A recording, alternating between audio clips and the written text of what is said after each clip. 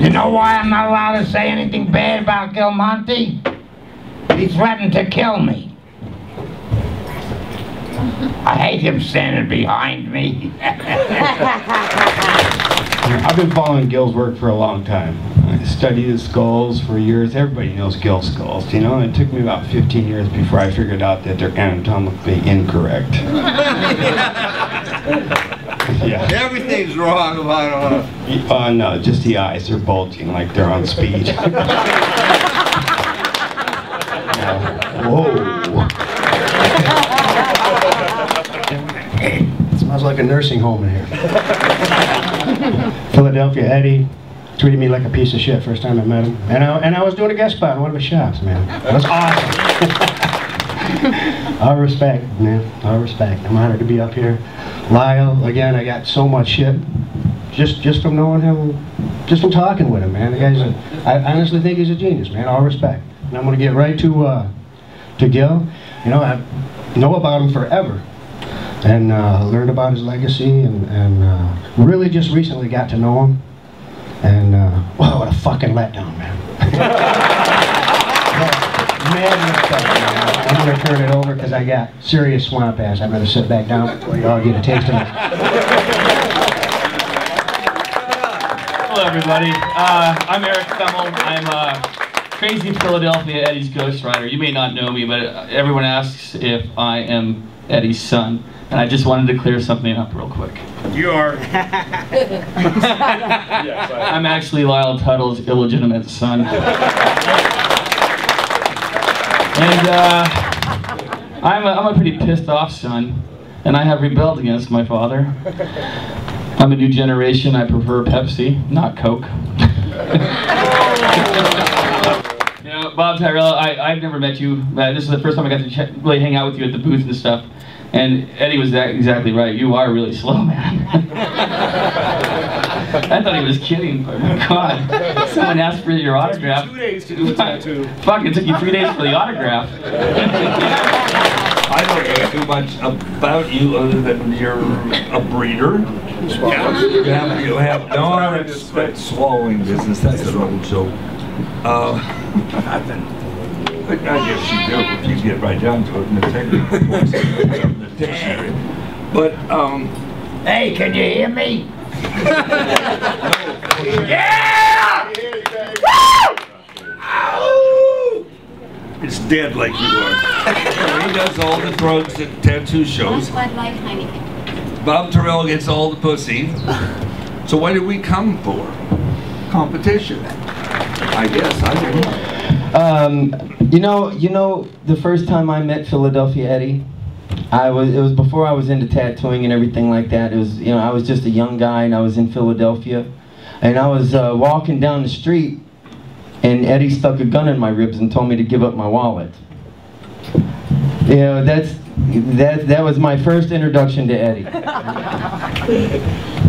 Here's your wallet back. It's empty.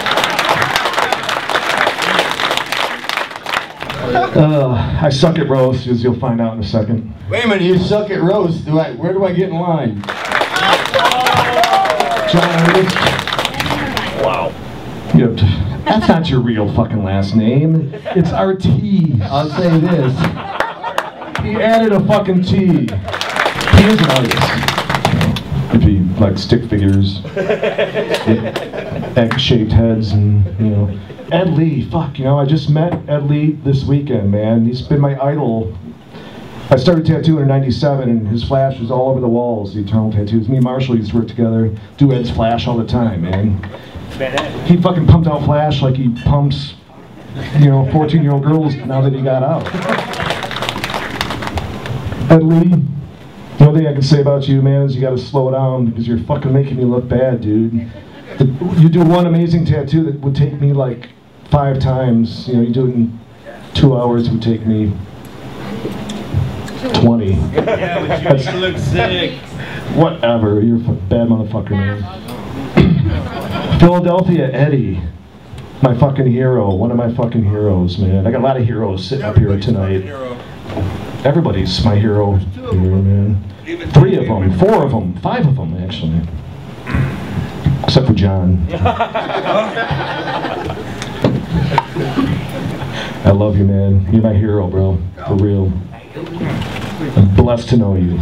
Gil, you know, it's like, I remember one time we're at the bar, you know, and he's, uh, we're just talking and stuff, and he's like, you know, he's like, you know, when I tattoo, you know, he's got that high voice. he's got that high girly voice, you know, and he's like, he's like, you know, when I tattoo, you know, I drink. You know, there's- some scarring, you know, but, you know, whatever. Blah, blah, blah, blah, blah.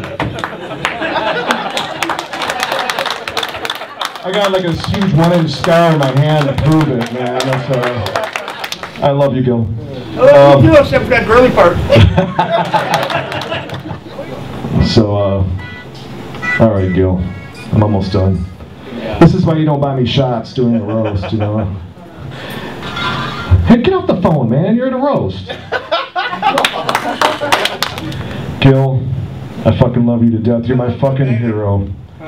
My hero, one of my favorite fucking people in the world, one of my best friends in the world. I fucking love you, man. High five, baby.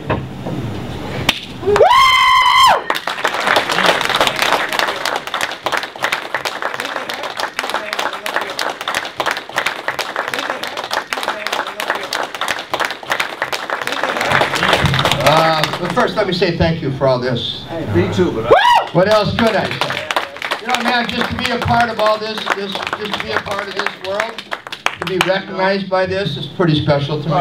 Lyle. Way to do it. Mhm. Never mind. I got, at one time, I was roasted by the National Tattoo Association. Deano Cook wrote this poem, and it just, there's just a couple funny lyrics I can just remember from this. There's one point was says, says, uh, Gilmont, you never know what town you'll find that motherfucker in, but you can bet your life he's hunting Vicodin.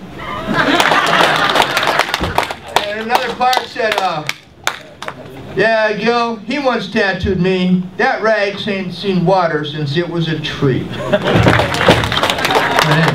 it was kind of cute. But man, what respect from all you guys and thank you so much. Love you.